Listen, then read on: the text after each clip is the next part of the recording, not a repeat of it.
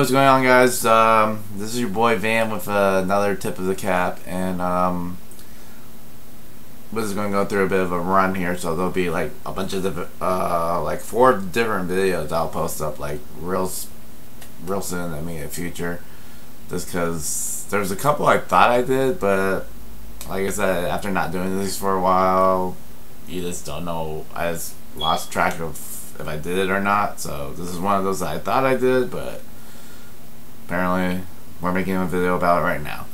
So um, as you see, this is a let's talk about it. So as you see, notice it's a bucket hat first of all. So it's uh, it's not military issued or anything like that. It's a new era uh, bucket hat with the camo with the drawstring and um, I'm just going to rotate it a bit, but it has this pocket here, orange pocket, like a fluorescent orange, neon orange, highlight orange, whatever you want to call it. It has a pocket in there, so uh, stash pocket, whatever you want to call it.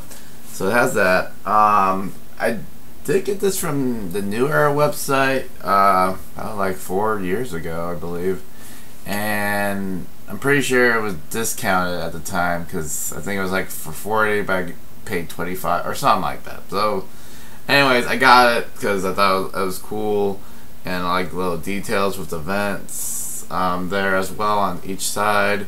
Um, you know, and this camo military style and this camo style bucket with drawstring. Um, it is in, and it was in this, and it was in a medium large sizing. Uh, that's probably the one thing I I mean I have a few buckets hats, but uh, most of the sizing I see from that style at least is either in the small medium range or the large XL range.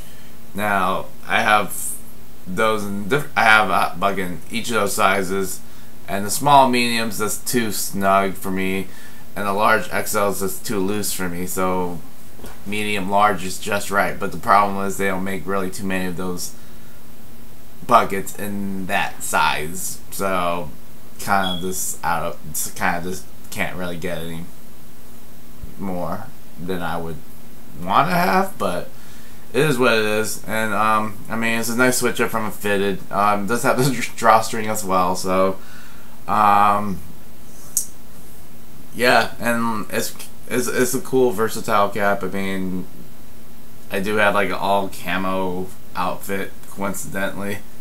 Uh, that I just realized I had wearing it the other day, but um, it's cool. Um, and it's definitely nice. It's like a nice, you know, I'll have to have. So, with that being said, that's just my tip of the cap to y'all and I'm gonna actually just make these videos all back to back, but this is one of them. So, um, real soon, at your boy. This is Van. I'm just gonna put that to the side for now, and then we out, man. Well, for this video at least. So we're done, and tune in for the next one real soon. Holla.